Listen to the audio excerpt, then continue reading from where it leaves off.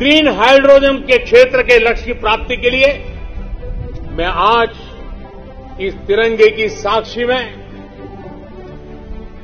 National hydrogen mission की घोषणा कर रहा हूँ। अमृतकाल में हमें भारत को ग्रीन हाइड्रोजन के प्रोडक्शन और एक्सपोर्ट का ग्लोबल हब बनाना है। अमृतकाल की शुरुआत। देश को ग्रीन हाइड्रोजन का ग्लोबल हब बनाने की दिशा में एक बड़ी उपलब्धि के साथ हुई है। देश को पहली स्वदेशी हाइड्रोजन फ्यूल बस मिल गई है, जिसमें ईंधन के लिए पेट्रोल डीजल या सीएनजी की जगह केवल पानी का इस्तेमाल किया जाएगा और जिसमें धुएँ की जगह पानी ही निकलेगा। इस हाइड्रोजन फ्यूल बस को पुणे में केपीआईटी सीएसआईआर ने डेवलप किया है। एक डीजल बस आमतौर पर एक साल में 100 टन कार्बन डाइऑक्साइड का उत्सर्जन करती है, जबकि हाइड्रोजन बस से ज़ीरो एमिशन होता है।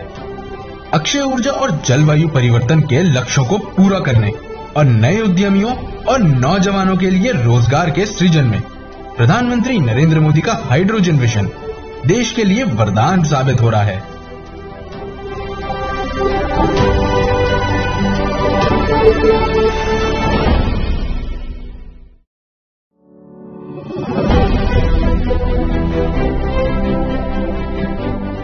ग्रीन हाइड्रोजन के क्षेत्र के लक्ष्य की प्राप्ति के लिए मैं आज इस तिरंगे की साक्षी में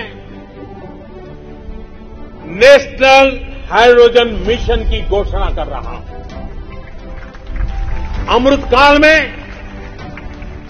हमें भारत को ग्रीन हाइड्रोजन के प्रोडक्शन और एक्सपोर्ट का ग्लोबल हब बनाना है।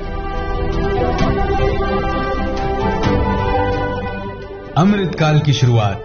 देश को ग्रीन हाइड्रोजन का ग्लोबल हब बनाने की दिशा में एक बड़ी उपलब्धि के साथ हुई है।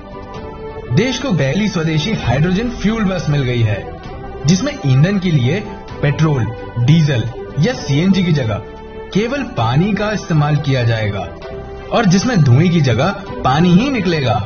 इस हाइड्रोजन फ्यूल बस को पुणे में केपीआईटी सीएसआईआर ने डेवलप किया है।